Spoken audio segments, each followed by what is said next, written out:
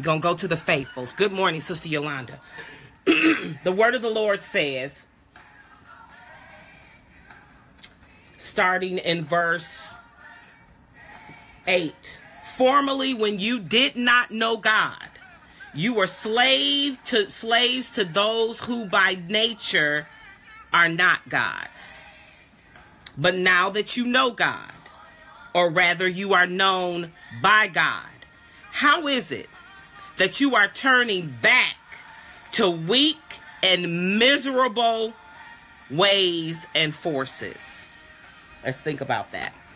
How is it that now that we know God, we are going back to weak and miserable ways, forces, and devices? How is that possible? Galatians chapter 4, starting in about verse 8. The word goes on to say, do you wish to be enslaved by those things all over again? Good morning, prophetess, Pastor Spencer. Do you want to be enslaved by those things again? Because if you go back, you could be enslaved by those things again. He said you're observing seasons and times and years. I fear for you. Paul said, Have I wasted my efforts on you by teaching you the truth? Come like become like me and I'll become like you and and it's not that we don't do wrong as you know it is because of these things that's going on in Paul's life that Paul said he was unable to get to them. But this is where I want us to, to drop our, our hat right here. Just rest your hat, rest your wig, rest your glasses. Just just rest right here. This is what we're gonna talk about. I'm not going back to weak and miserable ways that have benefited me nothing. They have benefited me nothing. Galatians says, How is it that you know the truth? You know the truth. You know what the word of the Lord says. You know what this relationship is that you have in Jesus Christ and what God has done for you. But yet, we keep sneaking and creeping, being pulled back into weak in miserable ways by forces that we seem to have no control over. Oh, yeah, prophet, elder, minister, sister, Dr. Tuesday. Me too. Me too. We all are weak and susceptible to the things that know us. Good morning, Q. We are all, good morning, Pastor Kim. We are all susceptible to them. Weak and miserable ways, Galatians calls them. We ain't going back. We ain't going back. Listen. There is too much going on in the world and, and if you if you pay attention to the times, you understand a little bit about the end times. Listen, I'm not saying it's coming tomorrow, but it's nearer than it was when my grandmama was here. Come on somebody. Nothing is waiting on you. So what is it that you need to let go of? What is it? That you need to let go of. I heard the Holy Spirit say to me as I was preparing this, and He dropped this in my spirit. He said, until January 1st, we are going to meet here. And I'm thinking 8:30. I like to kind of be strategic. And we will be back next week at 5 a.m. for fourth watch prayer. But God said we are going to start putting aside, laying aside maybe watch night so the 31st that morning. We will meet every day um, to between now and then. So friday saturday and that will be sunday i believe. So just before church it'll be a quick word. Putting them aside letting it go. What do you have hold of? What do you have hold of that you need to let go of? I ministered a sermon last sunday to god be the glory at uh, the house of God where I serve and worship, uh, the Streams Church. And um, the story, I talked about the story that was told about the man who fell over the cliff. Good morning, my dear sister Terry. That fell over the cliff and was holding on to that limb. And holding on to that limb, a passerby came and the passerby said, I'm here to help. How can I help you? What do you need? He said, help me to get up from the side of this cliff. I'm holding on by a limb. I'm holding on, as some would say, by a thread. I'm holding on and it's breaking. It's breaking. the weight of what I have going on in my life, the weight that is on my shoulders, my children, my spouse, my job, my finances, where I'm going to live, what I'm going to do, how I'm going to handle these tax situations, what's going on in Washington, all of these things. I'm holding on by a thread. And the man that's on the cliff, who's on steady ground, says, Give me your hand. And the man who's holding on to the branch says, What? Let go. You let let go of this thing that I'm holding on to that's breaking anyway, that has already failed me, that can't help me. You want me to let go of this? Yeah, let go of that and take my hand so that I can help you up. But the man who's holding on by the limb asks the man who's on steady ground, who's on a flat surface, who can help him up. Now, first, before you do it, what's your name? What's my name? I'm here to help you. Does my name matter?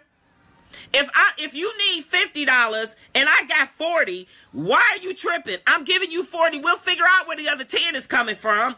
If I have the answer for what you need, why are you asking me fifty million questions? Now listen, I'm not saying follow someone blindly. I'm not saying being foolish in your decisions and who helps you because we know that everybody who comes to help ain't coming to help because everybody that's with you ain't for you. Good God Almighty, that's a tweetable.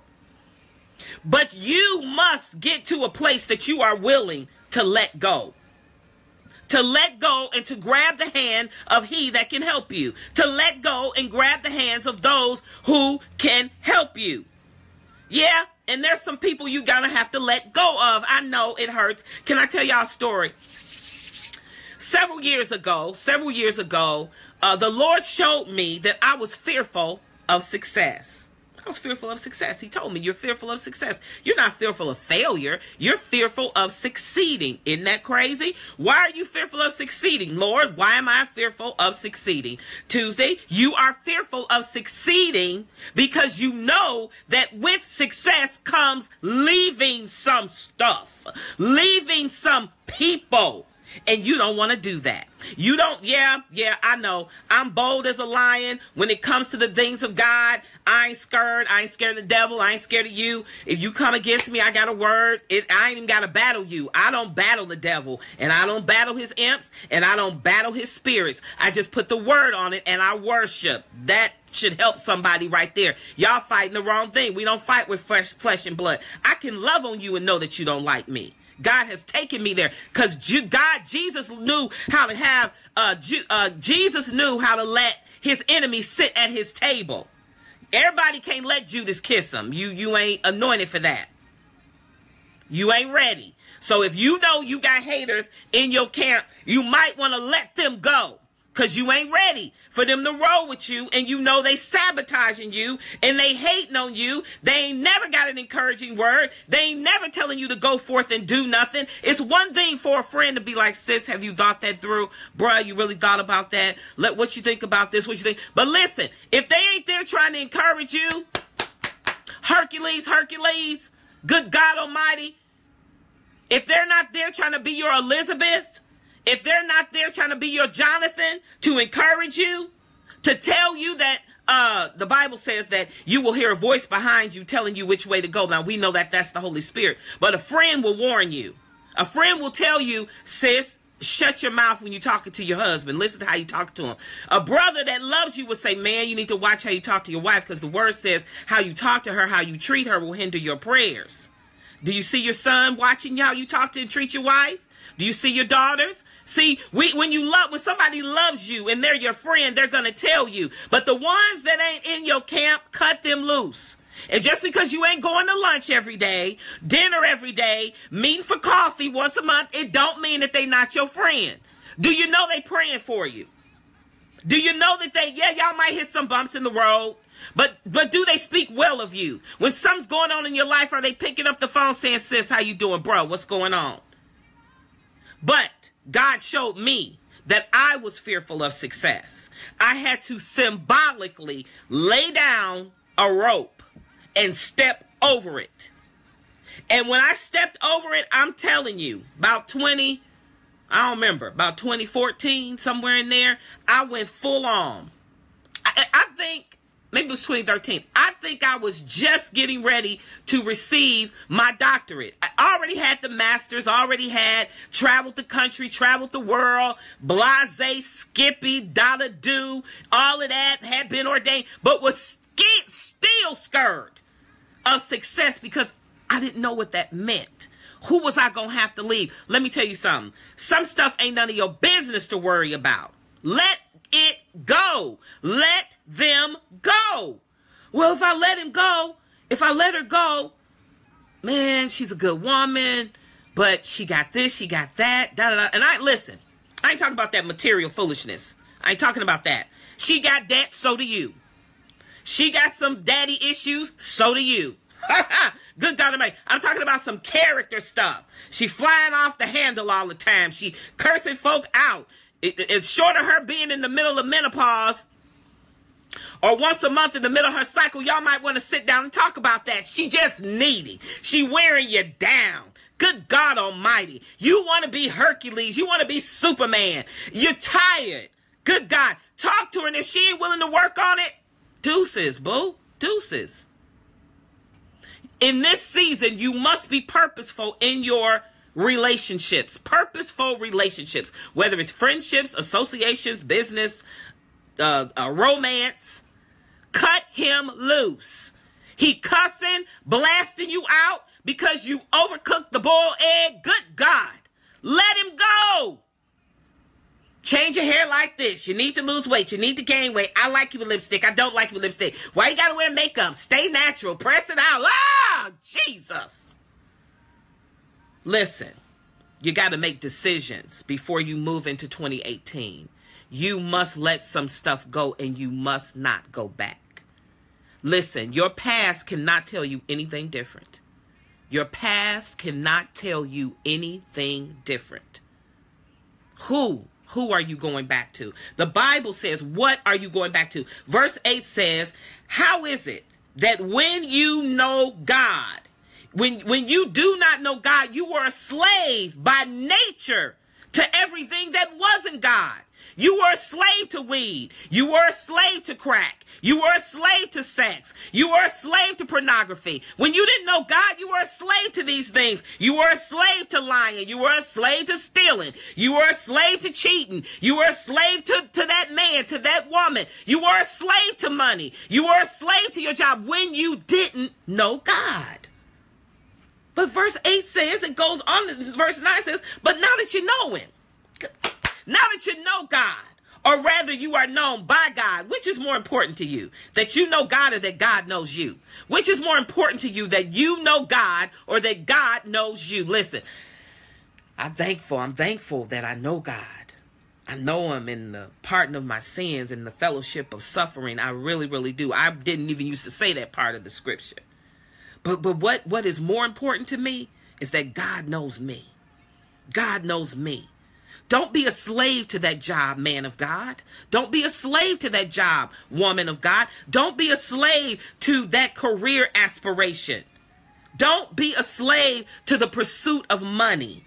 Don't be a slave to that. Don't be a slave to the material things. God wants us to have all that, but it's to advance his kingdom. It's to help other people. Save, invest, first tithe, bring your offering, save and invest, be a blessing to other people. I'm telling you, I am at a place that I am saying, Lord, my desire to be a philanthropist is so that I can bless the girl in the line behind me. Not only bless her to get her groceries, but how's your rent? Who, who, how many, what kids need to go to college? You, you, you behind because you sick on your mortgage. You just lost your job. Let me take care of that. God, anoint my hands for wealth. Anoint my mind for wealth. I know I am called to be wealthy. I know He has established me to be wealthy. However, I need the anointing for wealth. For it is He who gives us the power to gain wealth, to establish His word and His kingdom. It ain't about us. What are you a slave to that you need to let go of? You chasing money, you want money, but it's coming through your hands. It's running like water. You got holes in your pocket. Maybe because you're not giving nothing to the church.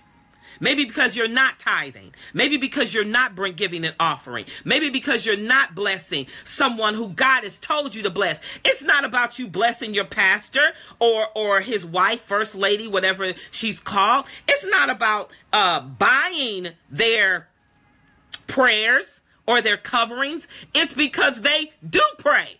God Almighty. It's because they do cover you. That's why you bless them. That's why you give to them. You give to the house of God. Let go of that love for money. The Bible says that money is useful for all things, but God don't want us to love it. He don't want us to love it. Good God Almighty, so that if it's gone, if you lose it, I mean, don't nobody want to walk through the mall and lose a hundred dollars. You don't even want to drop and lose five, right? Particularly if your your your account a little raggedy, a little short. But you got you got to let go of these things coming into 2018. There is so much that God has for you that is going to be a new beginning of a new thing that God is going to birth in your life. He's going to birth it. Some of you are in the push position right now. Some say pray until something happens. I say push until something happens. I say praise God until something happens. I say live out your prophecy until something happens. Whatever that peace stands for for you, you need to get in position because your labor pains are real. You feel uncomfortable. You feel tight. God hasn't uh, blessed me to to bring forth a child. He hasn't blessed me uh, for that, and so I love on my nieces and my nephews and my godchildren, and the those that I work with in, in the school systems and the juvenile center. So that's how God has allowed me to bring forth my love for children and to understand spiritually labor pains. You are in labor pains. You are holding on to a vision. I'm about to help somebody. You are holding on to a vision. Thank you, Holy Spirit. And God has told you to push that vision out. He's told you to push that book out. He's told you to invest in yourself. He has told you to go to that training. He has told you to go to that school. He's told you to get that other degree. Pam Bradley. Lord, if you are not on here and somebody know her, tell her I just called her name out. She is supposed to go do what God has told her to do. The Holy Spirit just dropped that in my spirit and this is the year. Yannicka, I don't know you. Is that Yannicka or Yanka? Jet? I don't know you, but when your name popped up in right here in this timeline of this message, the Holy Spirit said to tell you, um, I don't know what Johannesburg means to you, but I heard Johannesburg. I know that's in Africa. I don't know if that's someone's name, but God said to say that to you, Johannesburg. So uh, Pamela Bradley, go and do what God told you to do, and part of that is is getting de- another degree or getting a degree. And Yannicka, Johannesburg. Yeah. So we love God today. We love God. Let go. Let go and don't go back. The word goes on to say, Do you wish to be enslaved again, all over again, by these weak and miserable ways? By your weak and miserable ways, step on over the world. Step on over. Put go throw it out, lay it out symbolically. Lay something down, a broom, a scarf, good God Almighty, a brush, I don't care what you lay down, and step over it. Do not be fearful of your success. There is a um, sister, um, uh, Pastor Spencer. Pastor Spencer, there is a call that you are going to get. There's a call that you've been waiting on, actually, the Lord says. There's a call that you have been waiting on, and you are going to get that call for 2018. And I know you just, I think you just went to Africa or something like that. But um, this is a different country. This is a different country. Jamaica. Have you wanted to go to the islands to minister, uh, and and just be prayed up because it's going it's the witchcraft over there. Okay, amen. So, but you know how to handle yourself. But God said the call is coming. Yeah, amen, amen. So it's coming. It's coming. Glory to God. We celebrate God. We are not going to be fearful of our success. We're not going to be fearful. Listen, who's gonna go with me? Who's gonna go with me? We're not gonna be fearful about that. Who's gonna go with me? Oh my God, I don't have an armor bearer. I don't have an assistant. Oh, you can't be fearful. It's some stuff you're going to have to do on your own in this season because some people going to be too scared and you trying to move on. You didn't crossed over. You didn't crossed over. Good God Almighty. You don't have time to be waiting on these people. You didn't crossed over into, listen, some people move by levels and some people move by dimensions. That's a tweetable. Some people move by levels and other people move by dimensions. Sister Spencer, God is calling you to move, Pastor, into dimensions, not not just levels. Okay? Some people, I posted this the other day, as my spiritual father said, about uh uh, the process requires you to take the steps, not the elevator. But I will add to this, the Holy Spirit is making this very clear right now. Sometimes some people have to take the stairs. One, two, three. You got to go through a different kind of process. But there are other people that can take leaps. You can jump a couple of stairs. You can take two or three stairs to get to the next level. Some people do take elevators, but there are other people who move by dimensions dimensions. There's some steps because of your faithfulness back here, beloved, because of your faithfulness to let go, because of your faithfulness to trust God, because of your faithfulness to be obedient, even when it hurts, for your faithfulness to shut your mouth when you wanted to say something,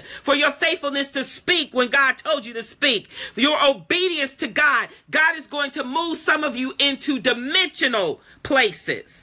You're going to skip some steps, not not not immaturely, not immaturely, because we're not doing no, we're not doing no miscarriages, we're not doing no spiritual abortions, we're not doing none of that, none of that. When you jump into the next dimension, when you move into the next dimension, I posted this last week. God's bringing it all back. See, my parachute is open.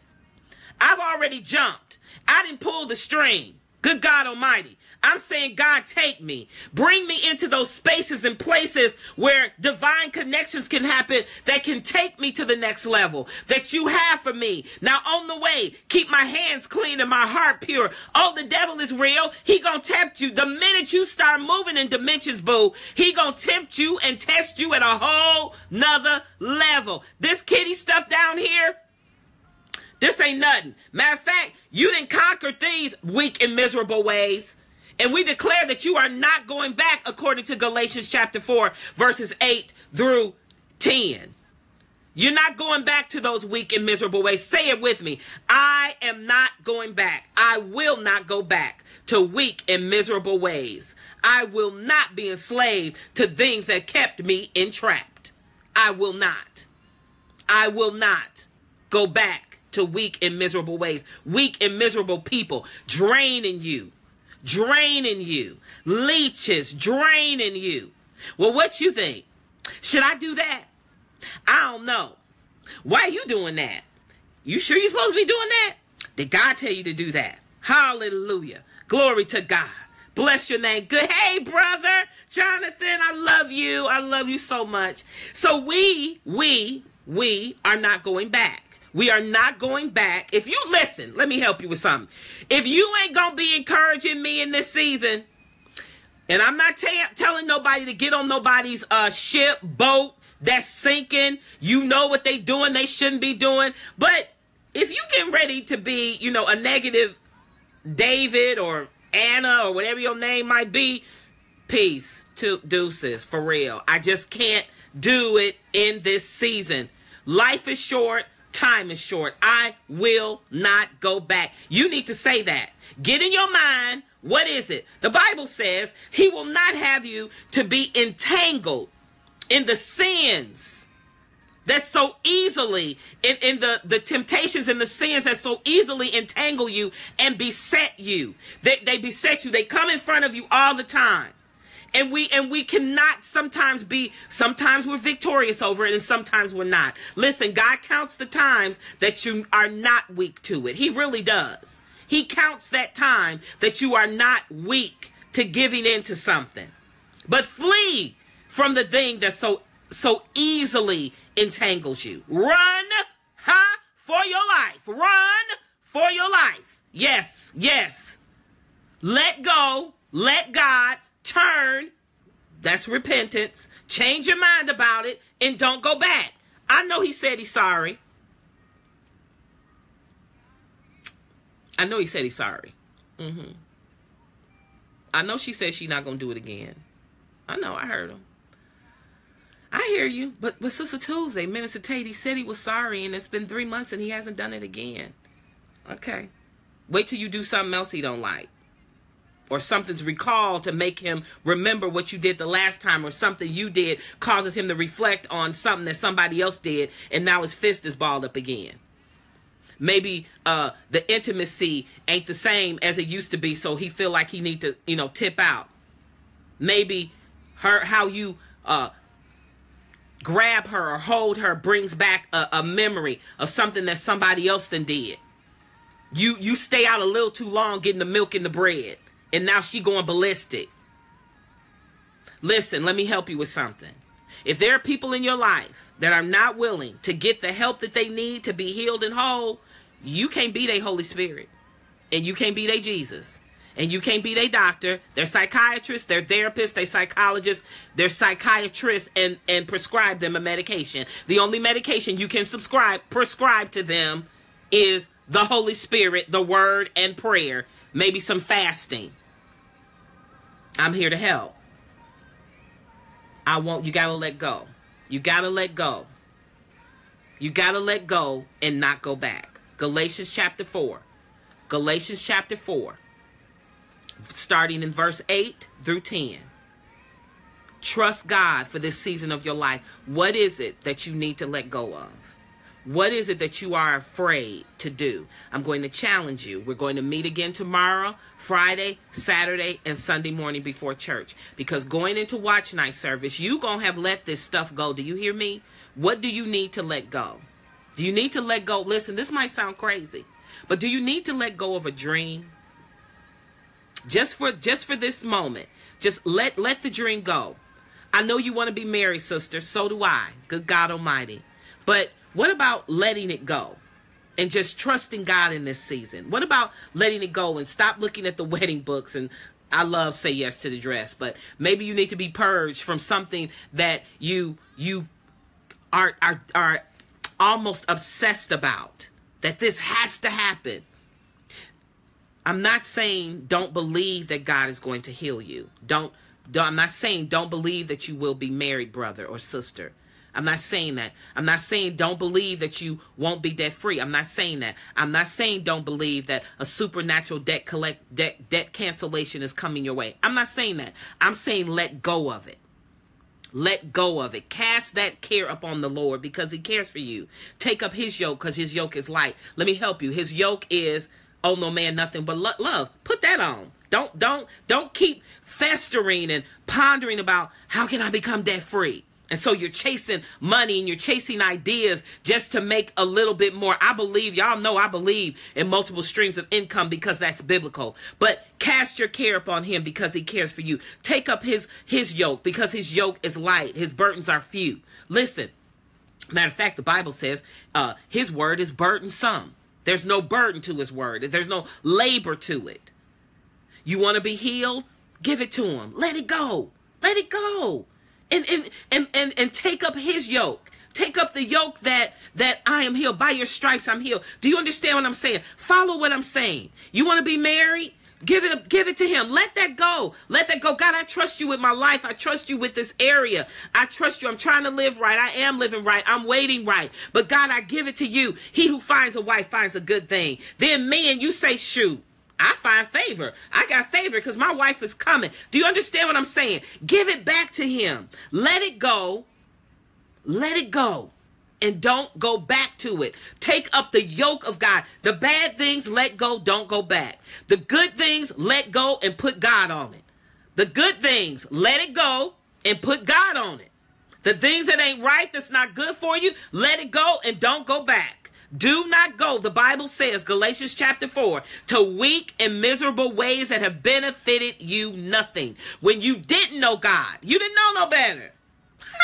When you didn't know God, you didn't know better. You didn't know no better. But now that you know God, and more importantly, God, God knows you.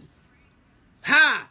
More importantly, you know God, but God knows you because greater is He that is within you than anything that is in this world. If you abide in Him and His word abides, abides in you, you can ask for anything if your soul does not condemn you. You can ask God for anything. Ask, seek, and not let go of that side of the cliff, holding on to that branch. I heard my pastor give another illustration of that story this morning. He said, and and that man who was hanging on the side of that of that of that rock had frozen. In my story, he had fallen. Good God Almighty. In my story, the prophet, I didn't let him fall. The pastor didn't let him freeze. I mean, you know, the heart of a shepherd, right? But in my story, that when he didn't take the hand of the man who was there to help him, he fell. The branch broke and he fell to his death. And as he went down, the man hanging over, looking over says, if you only would have grabbed my hand, I could have helped you. He said, and by the way, since you asked what my name is, my name is God. God is waiting to help you. He will help you to let go. He will help you to not go back because your past cannot tell you anything different. Learn from it. Take the wisdom of it. Apply it. And that's what you get from your past. But in my pastor's story, the person that walks by and these people, they see him and they look over the cliff and they see this man hanging from the, from the branch on the side of the mountain. And they see that, man, had he just let go, had he just let go when they told him to let go, he would have seen that he was only a few feet from the ground. Sometimes it's our perspective. It's our perspective. We, we have the wrong perspective about doing life and doing life in Jesus. We get scared about stuff that we shouldn't be afraid of because he said the perfect love of God will cast fear out. You don't have to be afraid to let go. You don't have to be afraid of fear. You don't have to be fearful of failure, and nor do you have to be fearful of success. God's got you, beloved. He has you. Now, we going to get ready. we going to go on in. we going to go on in to 2018. we going to get ready. we going to get ready. I want you tomorrow when we meet again at 830 this is what I need you to do. I need you to have written down everything that you need to let go of. Get you a little journal. I got a couple of them here. Got a couple of cute journals here. So I have one that says, um, We walk by faith. And I have one that says, Today I'm thankful of. So this is how I'm pursuing 2018. This is what we're doing. I have so many journals. I've told friends, listen, you you are you are responsible for burning all my journals because there's stuff in there ain't nobody need to know. Amen. But we moving in. So tomorrow morning, tomorrow morning at 8:30, we're gonna meet here again. We're gonna meet again on Saturday at 8:30. We're gonna meet again on Sunday. Good morning, uh, Brother Humphrey, Pastor Bishop. We're gonna do that, and we're gonna meet again on Sunday morning. If you're already at church, that's okay. But you before you go into watch night, before you go into watch night, you are going to have let some stuff go so you can praise God for real. You're going to let it go symbolically. You're going to let it go spiritually. You might even be able to let it go naturally. It's some people you probably need to call right now and say, "Boo, we can't do this no more. I can't. I can't. You can't come over my house at two o'clock in the morning no more." Girl, don't be showing up at his house with your coat and your stilettos on. No, no, no, no. You're going to stop that. You, you're not even going to let him in. No, no, no. You can't come over anymore because I'm living, I'm doing this thing for real. I'm going full on out to get to what God has for me because I'm I got to let you go to do that. If you don't get right, you're not going to take this journey of righteousness and holiness with me, then I'm going to miss you. I'm going to love you, man. My body probably going to ache for you. Let's just tell the truth. Because once you didn't, you know, dipped and dabbled, it's hard to go back to waiting. But God's a keeper. He'll keep you. He'll grace you to be kept. So I will see you tomorrow. I will see you tomorrow. It was my goal to do this in 40 minutes. I think I did it in a little over that, maybe 45. So we will see each other tomorrow. Amen. We will see each other tomorrow at 8:30 right here, same place. Get your list. Get your list. We're going to speak through that list. We're going to pray through that list. We're going to declare through that list. Be ready to post some of the things that you are get letting go of. And and I guarantee you, everything you're letting go of, God has a word for it that you can take up his yoke and put it on there because you let that yoke go. God bless you. Thank you for joining me today. I love you with the love of the Lord. See you tomorrow at 8:30. We're letting things go and we're not going back. God bless.